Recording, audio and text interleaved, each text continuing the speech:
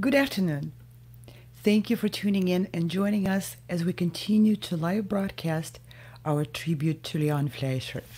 Today, tomorrow, and Wednesday, we go live again at 1 p.m. New York time to honor a legendary pianist, musician, teacher, mentor, friend, a man who did and meant a world to a lot of people and to music of our time. This tribute is made possible by an extraordinary solidarity effort of Mr. Fleisher's students who put their love and their work together in honor of their noble teacher. They bring their musical offering. They speak about their mentor. They help us all pay homage to this incredible man. They help us pledge our own dedication to carry on his legacy of the human and artistic values which he taught and upheld himself. We appreciate your patience if the artists may experience challenges with connecting. We will do our best to bring the beauty of each presentation to you in its fullest. And now I would like to welcome to our virtual studio on stage Alon Goldstein. Alon, so great to have you join us today. And um, this is great, such an honor and pleasure to have you. And as we were preparing to start our broadcast, I heard uh, something which I think portrayed Mr. Fleisher's sense of humor. And uh, like his uh, youngest son mentioned, that was a saving element of his approach to life. I heard that all you need to start speaking is an upbeat. So I'm going to give you an upbeat. I guess, I guess it, it shows Mr. Fleisher's sense of humor, but also my sense of talking sometimes. well, thank you, thank you, thank you, Anna, for having me, and thank you for doing such a truly meaningful and unique and special tribute to someone that that connected so many of us and inspired so many of us, and it's it's wonderful to share with with, with you and the audience and everyone. And uh, um, Mr. Fleisher was um, mentoring, of course, so everybody in um, approach to the music, but also I heard from many of his students that a very important part of his mentoring was the um, values and approaches to life. And I understand you had experienced that firsthand. You um, dive into unusual projects, and um, Mr. Fleisher was your supporter. Can you maybe speak about that a little bit? Um, I mean, in terms of Mr. Fleisher, if I can share a little bit about, you know, his teaching perhaps, and, and uh, you know, I remember being at Tanglewood when he was the artistic uh, director and him approaching all of the students and said that uh, I hope your experience here will be an everlasting increase of awareness. And I thought to myself, well, well, let me go and check in the dictionary some of these words but being with him, studying with him, listening to him was a, an increase of awareness uh, of, of your relationship to music, what makes music happen, the miracle of music, which happens in the dimension of time. And his questions to us were always the questions that we should ask ourselves, starting by, you know, after we play for him a piece, the first question would be, what did you think about your playing? And he wanted you to be very specific. In other words, while you're playing, you have to really be very um, acute, very uh, tuned in to what comes out and ask yourself questions while you're playing, right at the finish line, when you finish the piece. And, and it's like a constant internal dialogue between you and the piece and then he would give you lots of tools what to listen for what to ask. He wouldn't necessarily give you the answers. It was the questions. And he would always say i will teach you to teach yourself. Um, so these are a little bit uh, of, of him as a teacher. I have a lot of you know personal you know memories to share and, uh, and you know, guide teach, me. Teach you to teach yourself. That that really sounds very profound. At the same time, it sounds very practical. Can you maybe um, share some memories of um, how you understood this and some interactions with Mr. Fleisher? um, teaching to teach yourself, my first lessons with him was on uh, the Les Adieux Sonata by uh, Beethoven, Opus 81A, which we all know starts with the 156, you know, tonic, dominant, and then a six, like a deceptive uh, cadence and a surprising resolution. And, and I remember him, you know, to tell me, I mean, I remember him telling me that, you know, for the next week, would you please just just do it the way it should have been, you know, the tonic dominant to tonic. And he said one of the ways to have creative practice, uh, creative learning is to rewrite the music, see what the other options that the composer had. We obviously have this incredible blueprint. We have, you know, the final choice of the composer. But I think a, a wonderful approach to music, which which Fleisher uh, was nurturing us, is is to create sketches of the music, create the other possibilities that the composer had before he chose that last possibility. And that can be in, in so many ways, you know, the beginning of, of a Appassionata, which we all know the sonata starts with the tonic going to dominant, then the Neapolitan, which is shocking. But don't put the Neapolitan, put the dominant going back to tonic. Create another phrase, create what should have been by any other lesser composer. And then when you play what Beethoven actually chose, you'll have a much greater sense of surprise because you know you, you come from from other angles. That's like one thing which I thought was like, wow, that's really great. And there are so many possibilities of, of rewriting the music, and you start to own the music much more. That is so true. And that also goes along with um, some other students um, bringing up the fact that Mr. Fleisher never stopped wondering uh, about what the composer meant. So that is uh, opening um, behind the scene path to discovering how the composer chose what he chose. Because probably Beethoven um, wondered about that change of the harmony himself and tried many other ways, like you said, which would be more cookie cutter done by uh, lesser composers and we, we we've we've seen so many facsimiles of Beethoven with changes and markings and erasing exactly. and wonderful. What what was he not happy with? Can we try them and can we create it for ourselves? It's just a, it's a very creative way of practicing. You know, that's that would be one thing. Then of course he would talk about our relationship, you know, to the key. You know, he believed very much in in the, the finger should be an extension of the key uh, so rather than play with curved fingers like this, it's you know having a flatter finger as if you're extension. Now, he, he, would be quick to point at the end of the day what comes out of the piano is what's important. You want to play like this, play like that. You want to play like this, but he just believed there's something very natural when you you, you touch more of the key. He would also you know kind of jokingly said, you know, say I love you like that, right? so, uh, so That's wonderful. Caressing the key, having more of a more of a, a, touch with the key. You know, a loving, relationship with the key. exactly, an extension. And, As opposed to tiger. Playing from, you know, playing with your arms, being very loose, being all the time aware, you know, how, how are you going to start the note? Perhaps have a certain movement before you start the note. I mean, I think all of us heard this analogy he did when, when you play golf, you know, the, the, the golf ball is here. You never hit the ball. You have a movement before you touch the ball and then a movement to follow and he always said, you know, when you press the key should be the same thing. You don't just press it. You have to have a movement before you press the key and a movement that follows after you press the key. So you have a much greater control in, in you know, overall shape to what you're doing, how you're going to start the note, how you're going to support the note. When you have long notes, you know, they make a diminuendo, but it's your, your goal, your, your job is to continue to support it, to, to, you know, prolong the note. And then how you end the note. Do you want it to end like that? you want it to end like that. Don't let the foot control the end of the note.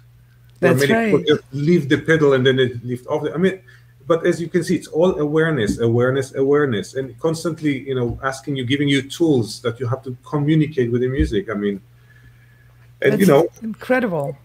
Yeah. For every pianist, and um, there's a, a lot of us pianists um, tuning in and watching this program. This is an incredible call for being aware and for being really involved in everything we do with the piano. Um, would you uh, like us to uh, move to your um, presentation of um, the musical offering, and then maybe we come back and chat a little bit more.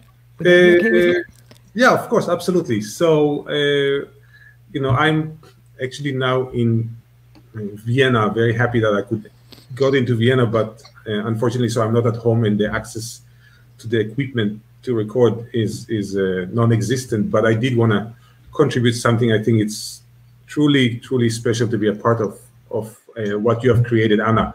So I thought um, of of presenting a Schubert impromptu, which um, I don't recall exactly the lesson that I had on this piece many years ago, but you know, just just thinking of of this impromptu makes so many uh, truths of Fleisher, or as Fleisher would relate to his sainted teacher Arthur Schnabel. You know, this this is the famous impromptu opus 90 number two with the you know so-called melody uh, scale-like melody. Uh, I can I can hear Fleisher immediately saying, you know, my sainted teacher would say this is slow music played fast, and you know one of these kind of uh, beautiful, enlightening uh, comments. So this is the second impromptu by Schubert from the Opus 90.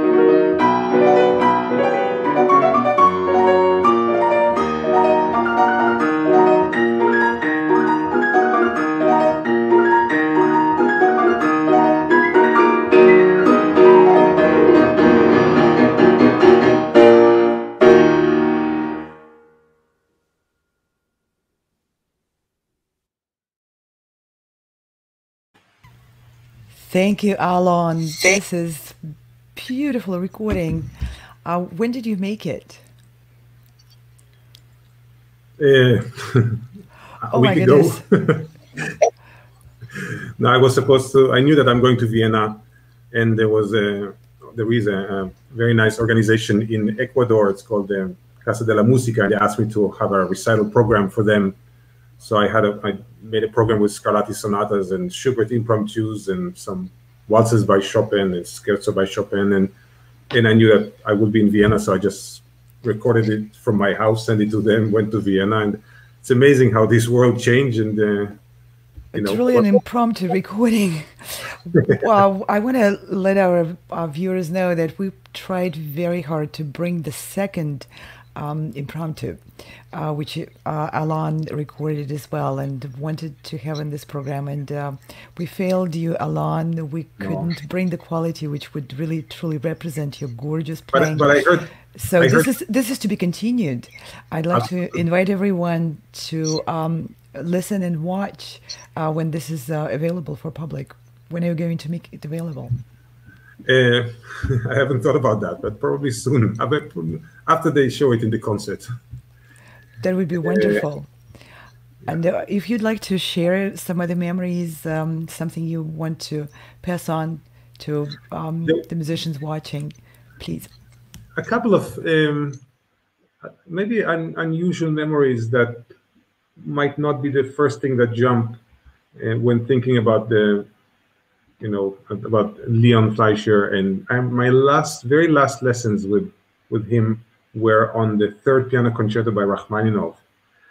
And even though we know that there is a phenomenal recording of the Rachmaninoff Paganini Rhapsody, we seem to, you know, associate him, of course, with with uh, Mozart and Beethoven and Schubert and Schumann and Brahms.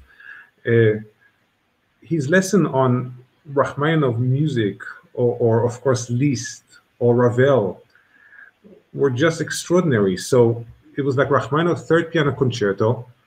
I don't think there's a recording of him. I don't know even even if he performed it. But it was very interesting because it was one of those occasions where might have been the end of the year. Most of the students were occupied. I was by myself. And I felt as if he's looking around the room to see that no one is watching. And then he went to the other piano and literally by memory just started to play the whole first movement of the Rachmaninoff Third Concerto. Mind boggling. It was absolutely incredible. I I was stunned, incredible, stunned. Of course, the playing is extraordinary. I was, did you play the piece? But obviously, he didn't only play it; he was uh, mastering it completely. So that was like one of really my uh, you know favorite memories or lessons with him. There was a, a very funny memory.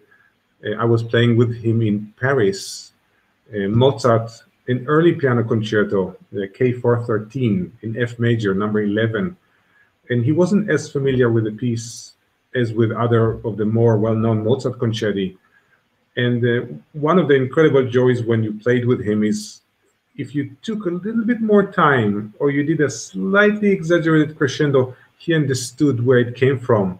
So there was one place that I exaggerated a certain timing, and he looked at me kind of smiling, you know, knowing who, who to blame for that extra time. And because of that, the second violins forgot to get in, to come in, and, and there was a little bit of a mess that was in rehearsal. So, you know, everything was fine. We finished the rehearsal. Before the concert began, he looked at me and he said, You know, Alon, if something happened and the second violins don't come in, or we end up not finishing together the piece, let's just make sure we meet on the coffee place at the corner of the street. so at least we have a meeting place at the end of the piece. I thought that was kind of quite funny. What a sweet memory. Thank you so much for sharing this. And um, it was just a great honor and great pleasure to have you with us. And we're looking forward to more meetings and hearing more of your performances. This um, this is wonderful. Thank you for such a wonderful, warm offering for uh, Mr. Fleisher. Thank you, Anna, and it's a, it's it's my honor, it's our honor, and thank you to you and to the team. It's it's really something truly unique and special, and and we are so thrilled that you made it and that we can share. So thank you, and, and God bless, and stay safe. Please do stay safe yourself too. And we'll say goodbye to Alon Goldstein. And before we move into uh, uh, welcome our next participant, um, another student of Mr. Fleisher, um, I would like to um, just mention that um, today um, I think it's appropriate to what we just talked with Alon. Um, it brings me to one of the quotes I read this morning in the article which uh, Inna Faliks published. it was published by uh, LA Times. And um, she said something which uh, struck a very um, deep note in my own feelings about Mr. Fleisher. Um, and I, here I quote Inna Faliks Music was more important than us and our individual problems, he taught us. And we were lucky to commune with it. They were not easy concepts to grasp immediately. They would take time and living. And now we will be um, inviting our next um, participant in the tribute to Mr. Fleisher. Please welcome on our virtual stage, Peter Takács. And um, it's so great to have you, Peter, with us. And again, this is just a blessing that you were able to join. Uh, we are putting it together in such a quick on the fly. Hello, Anna. Again, so many thanks to you for putting all this together. It's really remarkable. Thank you. And would you like me to um, leave the stage for you so that you can just present uninterrupted? Maybe a little bit. Why don't you stay with me? You have such a calming presence. Oh, thank you. Of course, I'll stay. Uh, I was going to say a few. Uh, you know, we, we all have so many cherished memories, um, and you know sometimes I get quite emotional. But I want to share a couple of things that I think to me almost speak of destiny, because I came to the U.S from Romania in 1962, and I was a young pianist. And one, I was in Milwaukee, Wisconsin, and I walked into a record store. And for some reason, I had one dollar in my pocket, and they said, uh, I said, "Do you have a record I could get for one dollar?" And they showed me this one. Oh my goodness! Unbelievable! I, I have to stop you for a second. I'm going to fall off my chair. This is the first album of Leon Fleisher I ever purchased in the Soviet Union. And I bought, bought it in the thrift shop, which was selling um, the records, unwanted records. And I loved the thrift shop. I frequented it. I was a student, I was a young student, and I had, uh, I didn't have a dollar in my pocket. I had only change. Uh-huh. Unbelievable that you would bring it. I still have it It's incredible. This is the original one. Oh my gosh. Of course, I cherish it. You know, it's got the nice cigarette and the whole thing. But, uh, you know, in a way, that was 1962, and I ended up studying with him in 1969. So it was a, foreboding of things to come. And, um, you know, a couple of things I want to say before I play. Um, one of them is to remember his, his left paw, P-A-W. Uh, when he was playing on top of the keyboard. And it was the most incredibly gorgeous sound that he got with his left hand. He had these brawny, heavy left hands. And I still remember when he demonstrated the Schumann Concerto theme with his left hand. It won't sound like him, but it was. Uh, mm,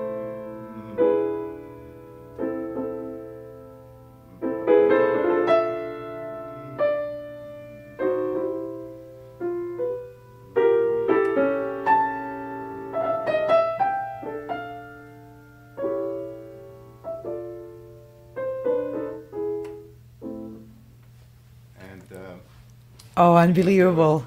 We all wish to play like that with both hands. exactly, right. Uh, so I remember the left paw is really special.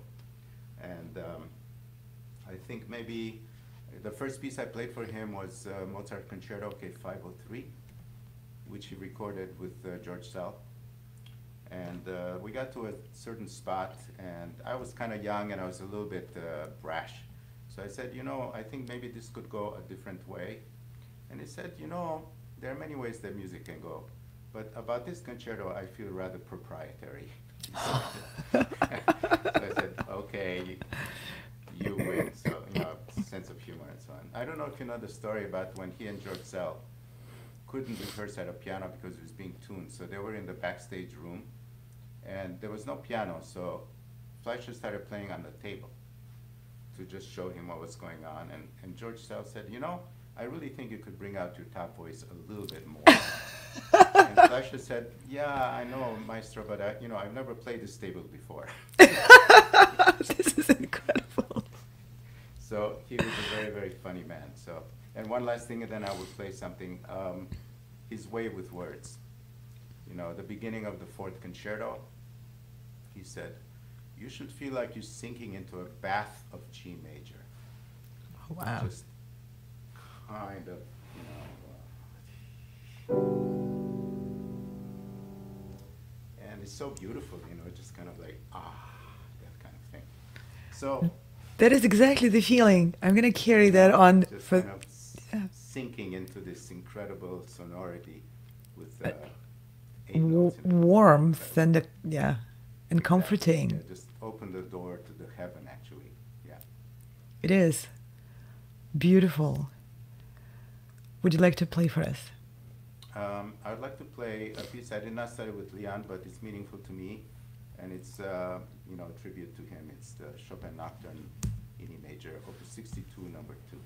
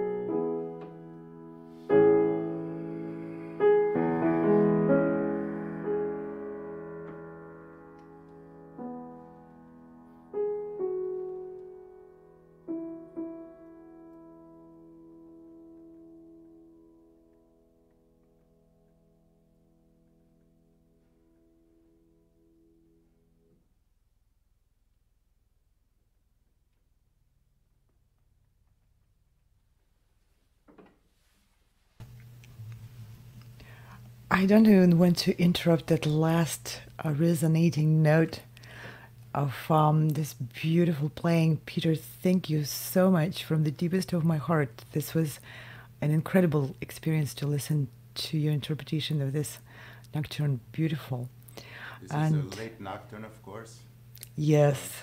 One second. Um, and you know, one of the things that, that Chopin loved was the cello. So playing something like uh,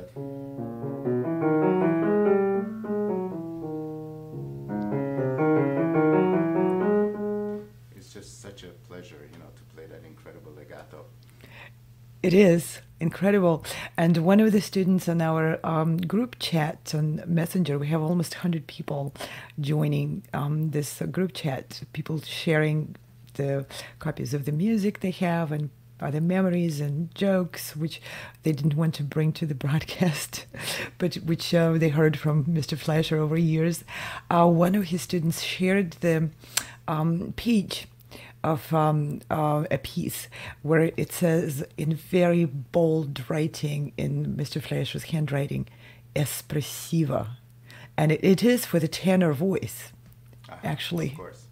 Well, I know that Yael played the Chopin etude for the, the so-called cello etude, so I can imagine. Um, I mean,